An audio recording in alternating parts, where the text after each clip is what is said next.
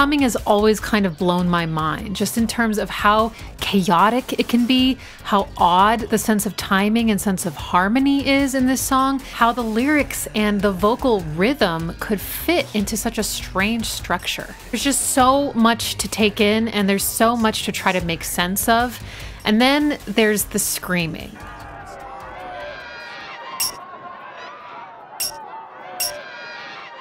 When I was younger, I had a really hard time with the screaming. I would often have to skip the track. Sometimes I wouldn't, but a lot of the time I did because it was just a little bit too real for me.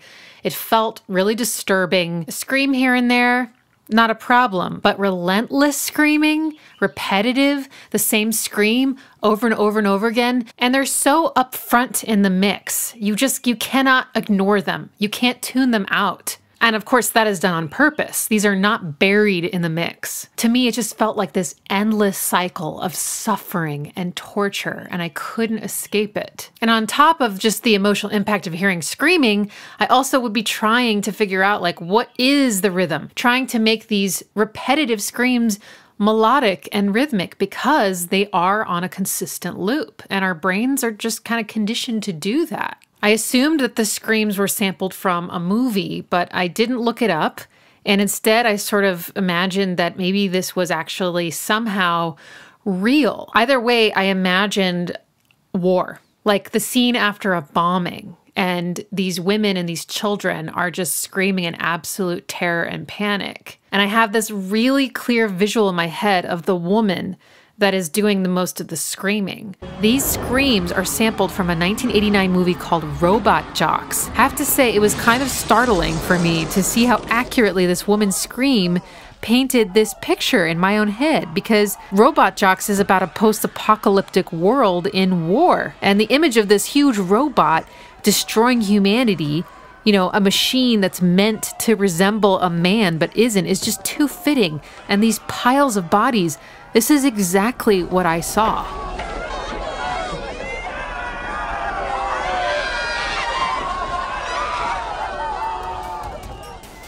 Part of what makes the screams so unsettling to me is that the loop is done so seamlessly.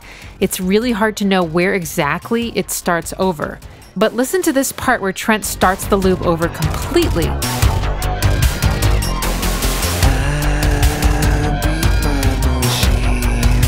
He could have just started it and kept it going all the way until the bridge, but instead he starts this bigger loop over at the end of the longer musical phrase, or what you might call the length of a verse or the length of a chorus, because he starts it over again on the chorus as well. What I'm trying to say is that there is a pattern to all of this. And I hear a long, lower guttural scream coming from this woman that then sort of finishes off high and then it's followed by a short screech that's just a little bit higher. Even though I wasn't consciously trying to find pitches for her screams all these years, my brain does it anyway. I cannot help it. The lower part of her scream is roughly a G4 or the tonic.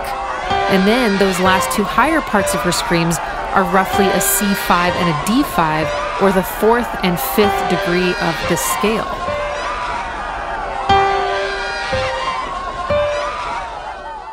Anyway, I'm curious to know how you feel about the screams. But once I got older and I grew a thicker skin and I was able to actually listen to the whole song, I started to listen to other components other than the screams and realized, wow, this is actually one of the best Nine Inch Nails songs that exists.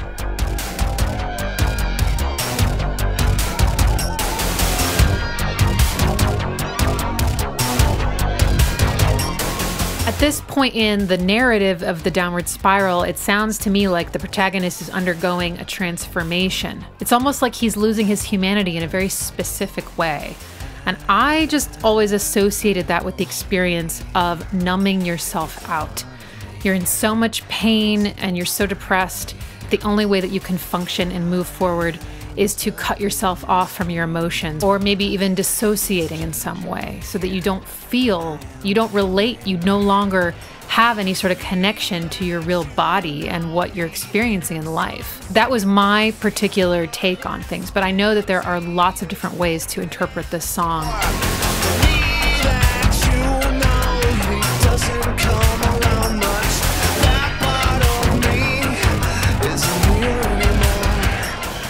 Personally, I'm fascinated by songs that are in an odd time signature. And by that I mean they're not in 4 4 or 3 4 or 6 8 time signatures and timings that we're used to hearing. And the timing of the song is a huge part of what makes it work the way it does. Now, if I had to pick which one of these sounds more human, syncopation or being on the beat, I would choose syncopation because it's a lot more complex. When you combine that with the downbeats, you get rhythms that are so much more natural and human because humans are not machines and we, we aren't perfect and we have rhythms. We have rhythms to our speech. We have different gaits when we walk and when we run, and everything we do has syncopation in it. And the timing of this song just feels so off.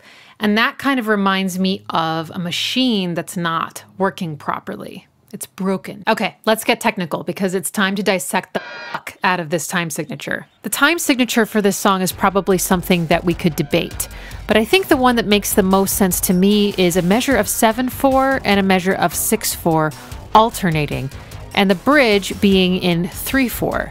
A time signature tells you how many beats are in a measure, but it's not necessarily going to tell you how the song feels rhythmically because the feeling of a song, I think, comes from accents and it comes from emphasis. Basically, what I'm saying is that a time signature isn't necessarily going to tell you where to clap.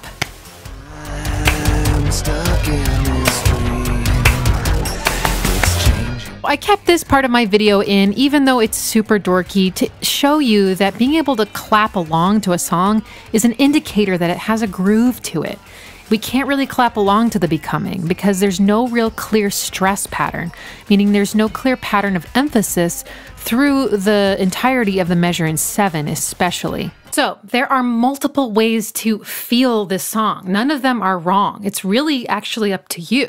But I'm going to start by showing you one of the ways that you could feel this song, especially if you're used to hearing music in four. So, one way to feel this song is a measure of four, a measure of three, a measure of four, and then a measure of two. One, two, three, four. One, two, three. One, two, three, four. One, two, one, two, three, four. One, two, three. One, two, three, four. One, two. If you're having trouble feeling it still, try counting in just twos and threes, essentially dividing the four into two beats of two. One, two, one, two, one, two, three, one, two, one, two, one, two, one, two, one, two, one, two, three, one, two, one, two, one, two. So, that right there might have helped you kind of figure out how to orient yourself in the song. But if you're still lost, here's another way that you could think about the song. If we feel the song in three, we've got a couple different options. Here's what it would sound like if it were in 3 4. I'm going to remove one of the notes from the measure in seven so that everything is in six. One, two, three, one, two, three, one, two, three, one, two, three. Now that might have actually felt kind of natural to you or even sounded correct. All pain disappears. It's the nature of, of my circuitry.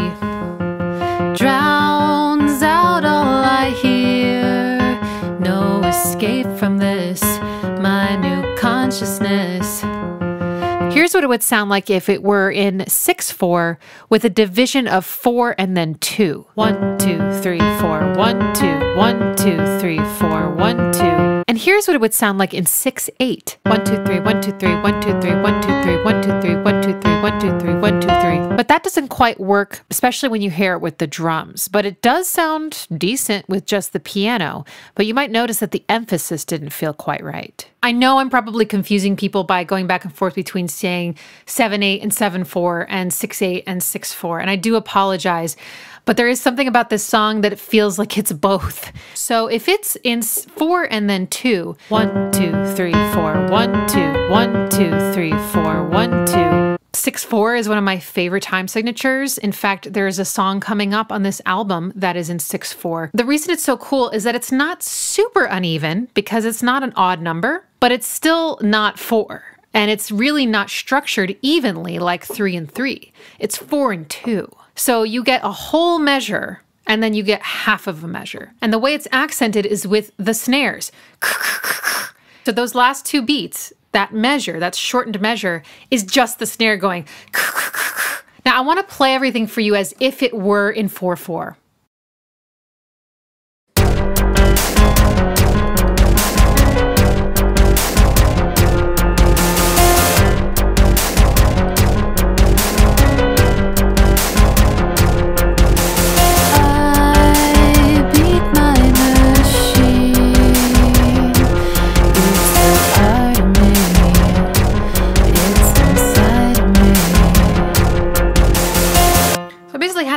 Bunch of extra notes to make that work. And he would have had to sort of wait in his vocal. So, depending on how you hear this song, you might hear it like there are missing beats, or you might hear it like there are extra beats. Either way, something, there's a pull. There's a part of you that might be sort of trying to find your footing because things are just not where they are supposed to be.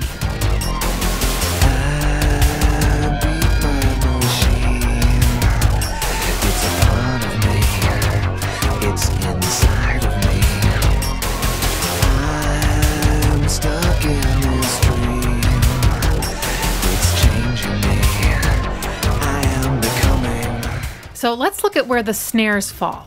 In most music, the snare often helps us with these accents, with this emphasis. But in this song, it's very sparse, especially in the measure of seven. It's only falling on beat three and then the and right before one.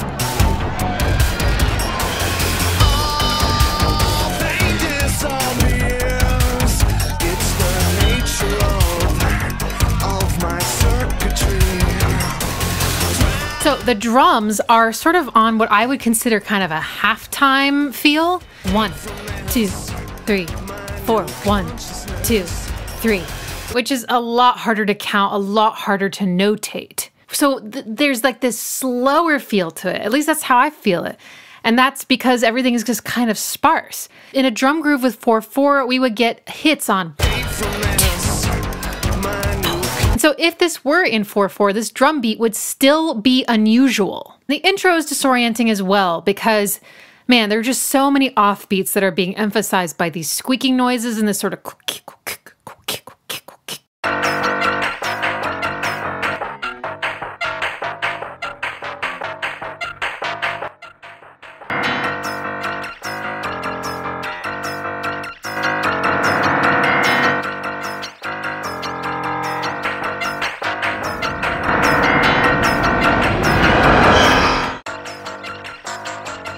Here's an example of Trent's evocative sound design. This intro, which sounds like a squeaky wheel in a broken machine, develops into a full song because of this swelling roar or this buildup.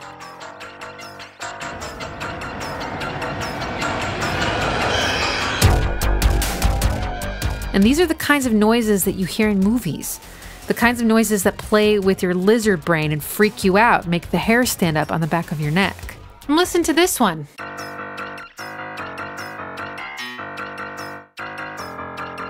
and to an and for an and to an and for an and to an and for an and to an and for an and to an and for an and to an and for an. So that's in four, but it's emphasizing the offbeats. And again, it's just cycling in four. Nothing else is cycling in four. And these particular squeaks have tonality. It's around an F5 or the flat 7 of the scale. This is an unstable but very familiar note for us Nine Inch Nails fans. So, yeah, this is a polyrhythmic, polymetered. Now, the one consistent thing in the drums is that there are hi hats on the eighth notes anytime that there's drums, we're going to have that sort of pulse going, which is really the only thing helping us stay oriented, and it's the common thread. Then these quadruple time hi hats come in for the second verse.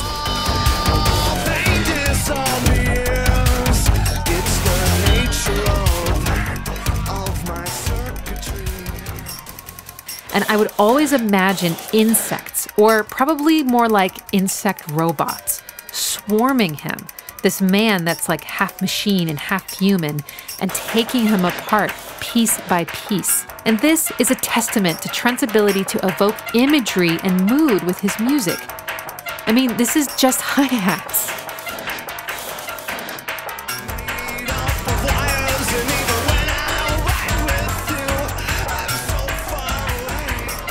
On a nerdy note, this is a wonderful experience rhythmically because I feel both the sludgy, slow tempo underneath, the primary consistent pulse that's going through the whole song, and then these crazy fast hi hat subdivisions with his vocals moving like molasses in comparison, almost like a montage that's in stop motion. Now, I mentioned that there is an emphasis on three, and you can more clearly hear that in his vocals the me that you know One, two, three, one, two, three, one, two, three, one, two, three.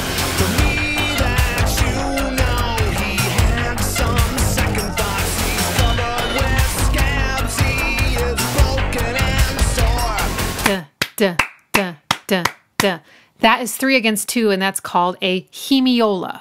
Fabulous type of syncopation. But you can also hear it when he goes, I won't give up, it wants me dead. God damn this noise inside my head. So there you've got one and two and three and four. and mm, mm, mm. Almost like it's swinging like it won't give up, it wants me dead. But it's not doing that. It's not swinging one, two, three, four, five, six, one, two, three, four, five, six. It won't give up, it wants me dead. And god this noise inside my head. Trent Reznor is so brilliant in terms of his production, his performance, his lyrics, his arrangement, his composition, everything, sound design. But he's also got an amazing sense of timing. He is very talented. To be able to write a song with this much complexity in his vocal melody and vocal rhythm and all these lyrics and have it actually fit into this bizarre time signature is amazing. It is not easy to craft a song with that much rhythmic interest in your vocal and have it fit so well and then be able to perform it reliably. You know, like I really get the sense that he knows what he's doing, like he's not guessing. He he knows how to feel this. So yeah, my brain definitely expanded studying this song. Something I noticed is that he does seem to always sing something, some word on the downbeat of each of these measures of 7 and 6. For example,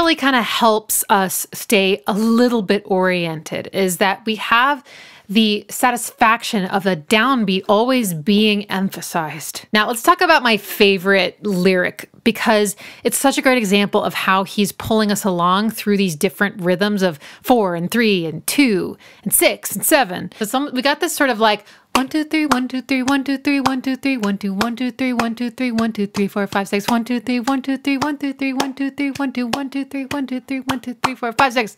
It's just so good. I'm gonna drool.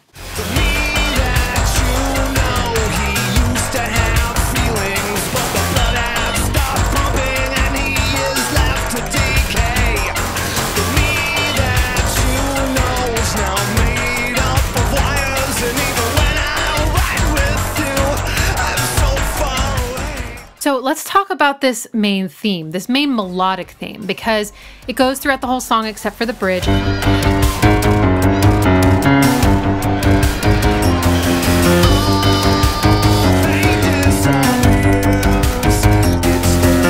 It's so cool. Okay, G to start. And that is our tonic. We are in the key of G, and I believe we're in G Phrygian dominant. So we've got, so we got G. There we're in G. And then we go.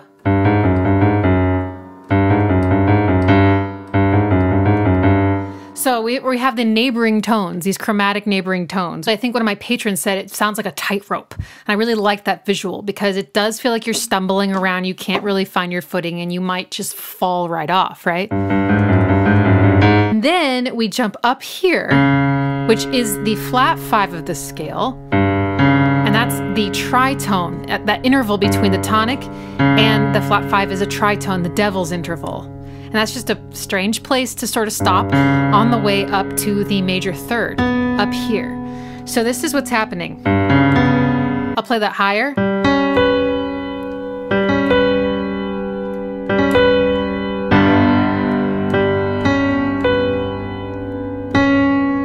What? And that's just super cool. If he didn't do that, he could have stopped on the fifth, which would have been more normal, and that would have sounded like this.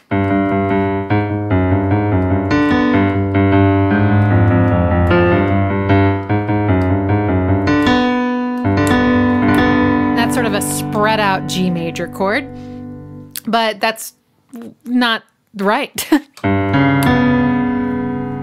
It sounds so much better with the tritone. I just admire how he uses that interval. Anyway, so I definitely hear the emphasis of the flat two and the flat seven and the one. Really foreboding and menacing sounding, especially way down here in the piano. And the register that he's playing this is crazy. It's actually down here. I just realized that just now.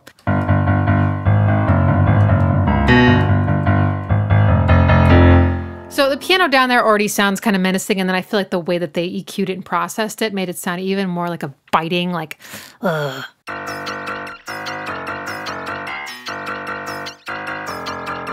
Listen to how the sustain pedal on the piano or keyboard being depressed during these chromatic notes, these ones. It makes it sound all the more menacing as these distinct notes all blend together and get bigger and less defined. The bass line comes in and it's playing exactly the same thing as the piano. There's just some accents, I think, on don't, don't, which also ties into the won't give up, wants me dead. So we got don't, don't, don't. Very almost vocal sounding bass line. It's got a lot of like mouth movements.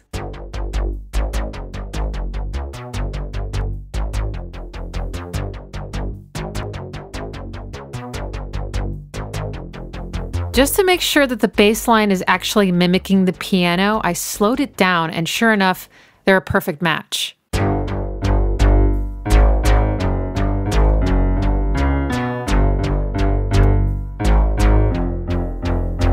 And there's another bass line, or maybe it's sort of a pseudo guitar that comes in to back everything up even more.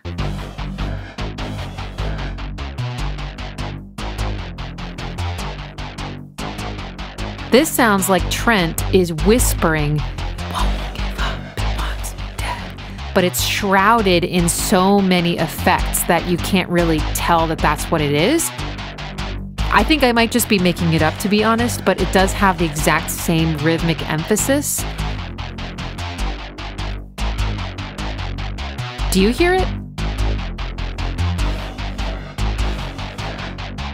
So to me, this sounds like we're in Phrygian dominant, as I mentioned, and that sounds like this. What's so compelling about this to me is this flat two, and then this big jump up to the major third. Scales usually don't have jumps that big.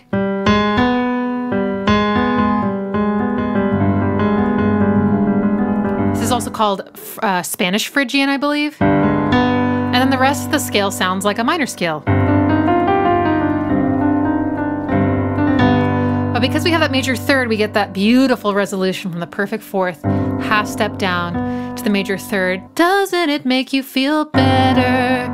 Right? So we have that in a lot of Trent's music, which is really beautiful and very emotionally powerful. Now let's talk about the thirds, okay? Because I can't get through a video without talking about Trent's thirds. In a lot of Trent's vocal performances, he chooses a third that maybe might be ambiguous. So it might sound both kind of like a major third and a minor third or in between, or you might sort of vacillate between them. And I think that in this song, there are some neutral thirds, but for the most part, he's singing very clearly a major third or a minor third. And when he switches it, it's like the me that you know. He used to have feelings, but the blood has stopped pumping and he is left to decay. So he's always singing the major third when he's singing the me that you know.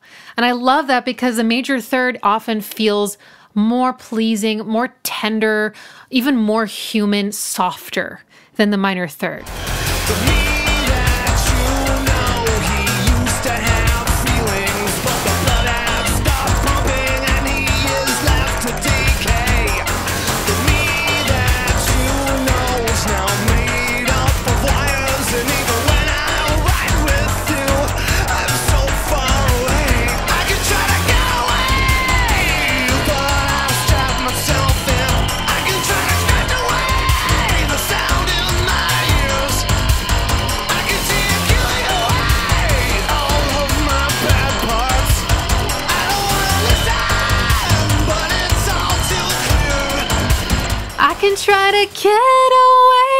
Okay, so now when he goes up here for this sort of chorus extension, this is interesting to me because he sings the major third. He's kind of screaming, but I think it's pretty clearly the major third. The reason I find that interesting is because the third is a place of rest. It's a place of station. It feels resolved.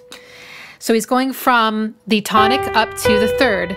I can try to get away. He doesn't stay there. And I love that because it sounds almost like he is trying to get away. He's trying to get away from this note. I can try to get away, but I strap myself in. I can try to scratch away every time he sings away. Listen, but it's all too clear. That's the fifth. Clear, ending on the fourth. Just a lot of emphasis on that fourth. Now, if there was a chord progression underneath that had the four in it, then it would like make sense. But I just love that he's going he's he's going outside the box. He's literally trying to escape, but he can't. Eventually he has to succumb. I don't want to listen. It's all too clear. He gave up. The main like verse vocal melody is so beautiful too. Just listen.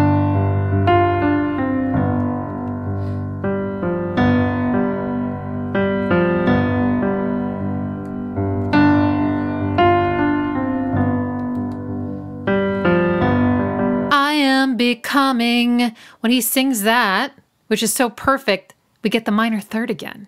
I am becoming, because I feel that that minor third really does signify that loss of humanity, because it has that edge. It does sound darker. And that's what I've been saying for years.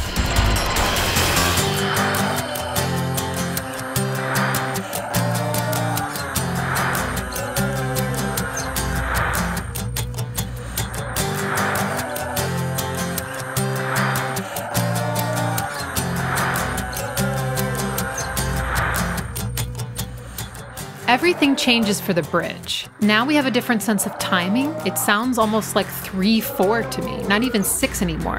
One, two, three, one, two, three. And he's talking about not feeling anything, and that's kind of how this bridge feels to me is like numbness, floating, neutral almost. This acoustic guitar, which we're not expecting at all, it sounds so raw and pure doesn't sound like there's any effects on it at all. It's just kind of right there, like you're sitting next to someone just strumming away. It's so out of place, you know? And it's playing these very hollow sounding chords. They might just be power chords kind of higher up, or maybe it's just fifths.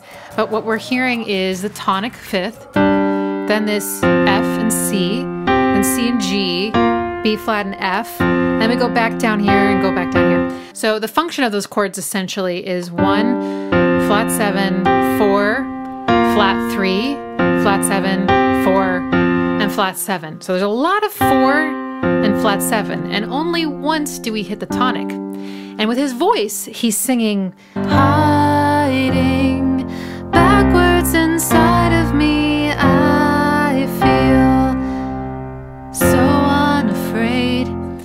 So this always felt strange to me. And part of that is because he's singing the fourth a lot, he's playing the fourth a lot. And the fourth likes to resolve to something. It usually likes to go to five and then back to one, or at least just go back to one. But it's not going to one, it's going to seven. And so that almost starts to sound like this chord is tonicizing this chord and bringing you into like C major. And so that feels weird because you're sort of like, I'm still in G, right? Backwards inside of me, right? But you don't go here, you go here. So it's just a little strange. And then he sings the major third at the end of the phrase. So unafraid. So that's very like homey, because that's the home chord. But that's not what he's playing underneath it so unafraid. I have to correct myself here because listening to the surround sound mixes, he's clearly singing a minor third to resolve the musical phrase, not a major third. Hiding backwards inside of me, I feel so unafraid. Annie,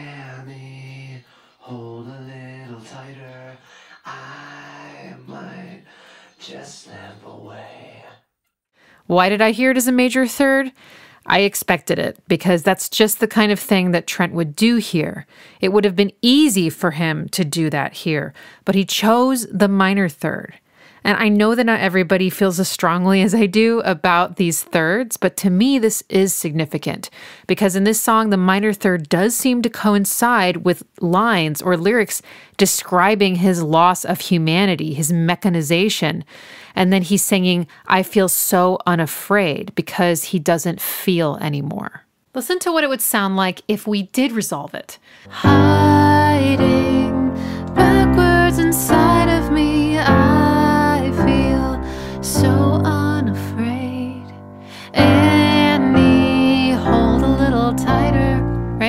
But we don't. We don't resolve. So unafraid. Just bring us home. Not until the next measure. It's hard for me to not ascribe some kind of symbolism to this prevalent fourth as a place of rest in this song, a place that you normally don't find answers. This is where we keep ending up at the end of most of these phrases. And then we finally get some resolution with this minor third in the vocal melody, but the chord is playing the four. So unafraid, so unafraid. We also have that natural six, which rounds things out and softens them. Here's what it would sound like with the flat six, which is what you'd expect given the Phrygian dominant scale that we're in. Hiding backwards inside of me, I feel so unafraid. Instead, it's hiding backwards inside of me backwards inside of me, backwards inside of me. The point is, though, is that it's just sounding really neutral. That's literally called the natural six. There's no edge to it. That's what we've had before. But no, now it's this. Oh, but I love that so much. Just these little touches, they make such a huge difference. And only a musician who has an exceptional sense of harmony is going to make those choices, I think. Of course, there are more noises happening that are sort of disturbing during this bridge. It's not just nice and easy. We have this sort of, I don't know, almost sounds like the Elephant Man sounds that were pulled into the Ruiner, which is something that I've learned since then, thanks to your comments.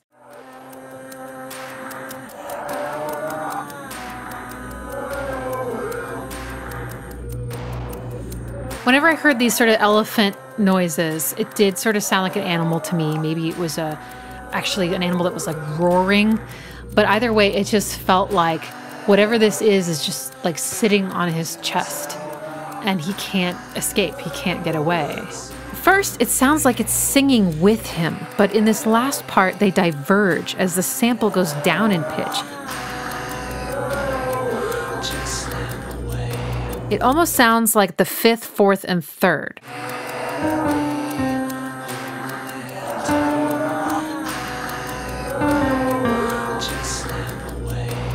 It's not exact, but I would always kind of sing along to it, especially that last part. Uh, more often than that, I would try to sing along to his actual vocal harmony, which sounds to me like a vowel that's in between a and eh so there's something sort of nasal about it and just, I don't know, defeated and like, uh, uh, it sounds whiny. I'm not saying that in a bad way at all. It's perfect. Now, this harmony is singing the flat six.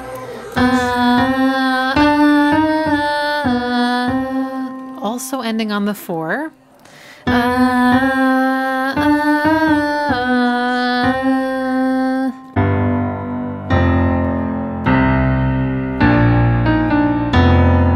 listen to that tritone. There's something really interesting happening rhythmically in the bridge, even though we might easily feel this in three, almost like a waltz. One, two, three, one, two, three, one, two, one, two. With a pulse on the first beat, there's another timing in three which is much quicker.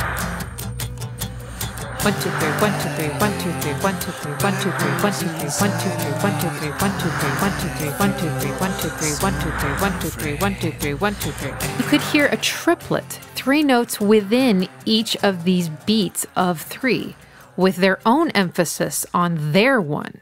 One, two, three, one, two, three, one, two, three, one, two, three, like an inception of three. This is the same three against two that I was talking about in the other parts of the song. Like when he's singing, The me that you know. One, two, three, one, two, three, one, two, three, one, two, three. This is emphasized by the rhythmic pattern that the guitar is playing. Because if I take this same exact guitar rhythm and just change the emphasis or the feel around it, it sounds much more squared off.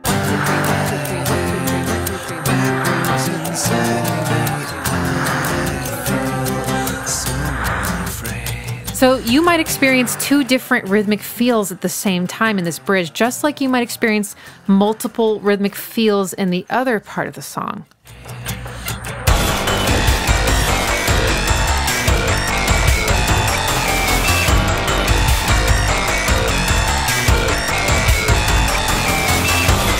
Now, the section after the bridge is one of my favorites because it's like a noise solo. It's not a guitar, in fact, it sounds to me like a synth playing the main melodic theme, but it's being twisted to hell. At first, it sounds very much like a machine with its bleeps and bloops, maybe trying to find some kind of semblance of humanity, but it can't. It's stumbling over its pseudo notes. Then it dials everything in when it drops down to the tonic, and we're just. Mm and it almost sounds melodic here. And because it mimics the impending, it won't give up, it wants me dead rhythm, it's hard for me to not hear it like a robot trying to sing. I said it was tonal, but that doesn't mean it's meaningful harmonically. It would be really hard for me to play this on the piano, is what I'm saying. But if you listen to the live version, Trent definitely found a way to make it truly melodic while still maintaining its noisy brutality.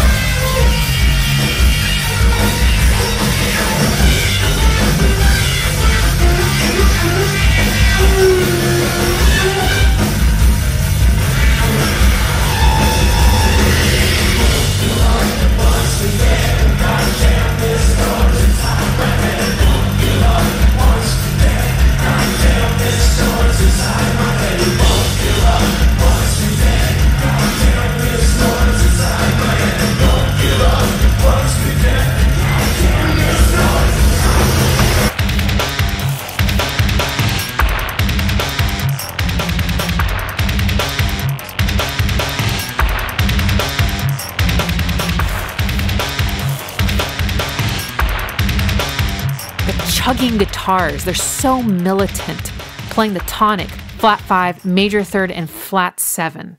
But mainly, they're bouncing between the tonic and the flat five, which creates a tritone or the devil's interval, or as I like to call it, the Trent tone, which in this context is only there to piss us off, in my opinion, because he could have easily had the guitar jump up to the perfect fifth, which would bring us a sense of stability and sanity.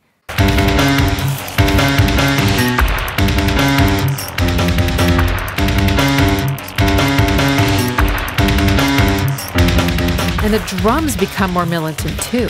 You can really hear the difference between the measure of seven and the measure of six a lot more clearly here because of these drums. A hidden sound that no doubt adds to the atmosphere is this one. This could be almost anything, but it does have tonality and it's playing or singing the tonic and the flat seven. Ew.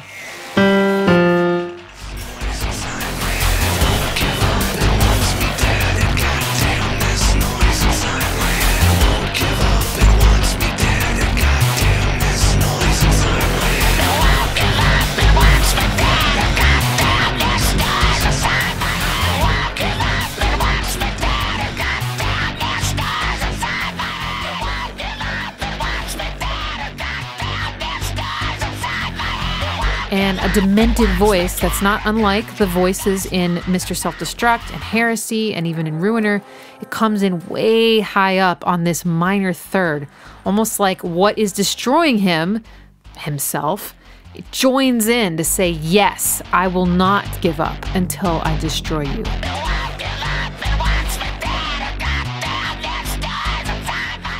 I would love to know more about the vocal processing on this part because this just sounds so messed up in the best possible way. I'm guessing ring modulation, but what else? So in Piggy, it sounds kind of like, yeah, a mantra. In The Ruiner, it sounds like it starts as a mantra and then becomes sort of something he's trying to convince himself of. And this one sounds to me like he's stuck on a loop because he does feel stuck. He can't escape. This thing is pulling him apart piece by piece. He can't get out, it won't leave him alone, and it will not let up until it kills him. And of course, the ending is so strange too, because you maybe don't expect that bridge section to come back. This has not really been the way that we've been taken out of these songs before, sort of gently lulled out. Usually they just kind of stop abruptly, but this time we have sort of this beautiful panning experience, very immersive with the guitars and those those animal noises and the ahs. And slowly, I do not want this starts to fade in and starts to take over. A lot of you have told me that this song is your favorite or one of your favorites from the Downward Spiral or your favorite Nine Inch Nails song ever, and that it's a turning point in the album. And I have to agree with you. I feel like from here on out, things have taken a darker tone. Not to say that Heresy isn't dark, not to say that Mr. Self Destruct isn't dark, but there's another level of darkness here, and I'm not quite sure I can put it into words. Hey, quick scene change, but I just wanted to say that I am going to analyze the still version of this song, but I'm going to do it on a live stream with my patrons and then share the replay with everybody. From there, I'm going to craft my piano version. This will all be available before I analyze I Do Not Want This.